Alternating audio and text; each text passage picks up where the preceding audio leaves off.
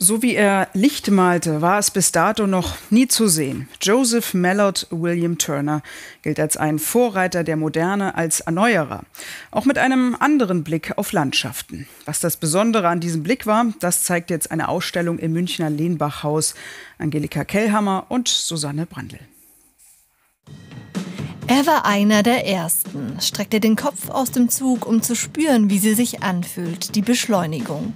Der englische Maler William Turner malt die Welt im Umbruch um 1800, in der sich Technik und Wissenschaft gerade anschicken, die Natur zu beherrschen.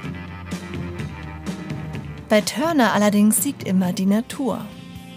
1842 malt er einen Schneesturm, in dem alles explodiert, Luft, Wasser, Schnee.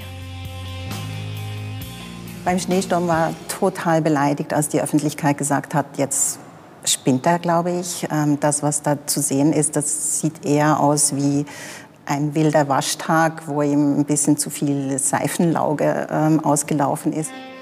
Das Lehnbachhaus München zeigt Gemälde, Aquarelle und Skizzen aus allen Schaffensphasen des Künstlers und ermöglicht dem Besucher Turners Werdegang nachzuvollziehen.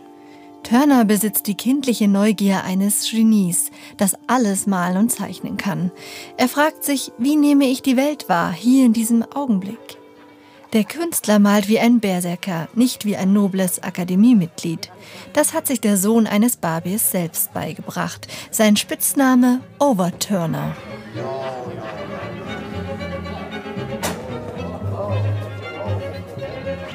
Das Klischeebild von Turner als grumpy old man, also als etwas brummeliger alter Mann, ähm, der sehr asozial war, ähm, kam wahrscheinlich von seinen letzten Lebensjahren.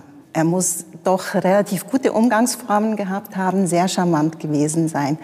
Er hätte nie eine solche Karriere hingelegt, wenn er nicht ein angenehmer Zeitgenosse und ein guter Freund für viele Künstlerinnen und Künstler gewesen wäre. Mit 44 Jahren bereist er Italien, entdeckt das südliche Licht und Venedig, eine Stadt und ihre magische Atmosphäre.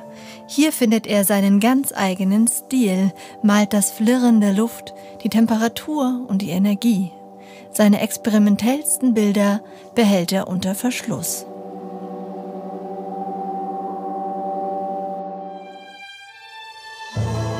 Sein Vierwaldstätter See Nebel und nichts. So löst er die Welt auf und macht den ersten Schritt, lässt den Gegenstand, seine Zeitgenossen und das ganze 19. Jahrhundert hinter sich.